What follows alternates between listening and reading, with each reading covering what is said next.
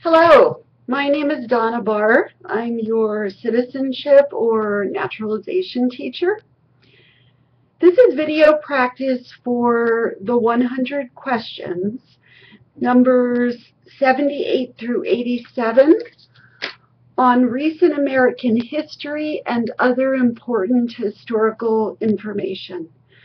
I will ask each question and then pause long enough for you to answer the question before moving on to the next one. So let's begin. Number 78. Name one war fought by the United States in the 1900s.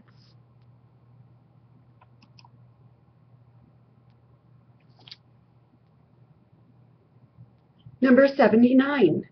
Who was president during World War I?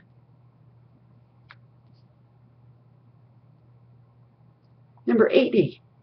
Who was president during the Great Depression and World War II?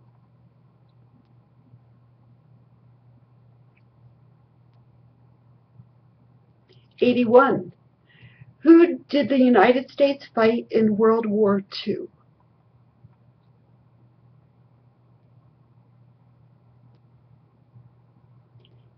Eighty-two. Before he was president, Eisenhower was a general. What war was he in?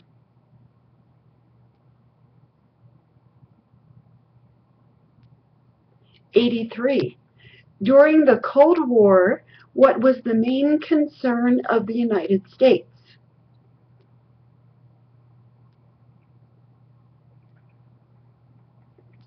Eighty-four. What movement tried to end racial discrimination?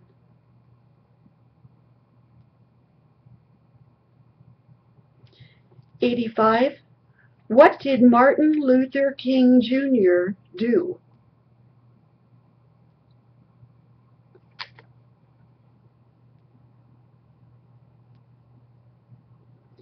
Eighty-six.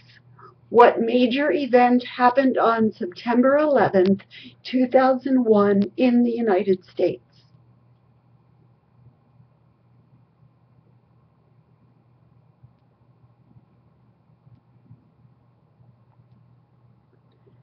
And 87, name one American Indian tribe in the United States.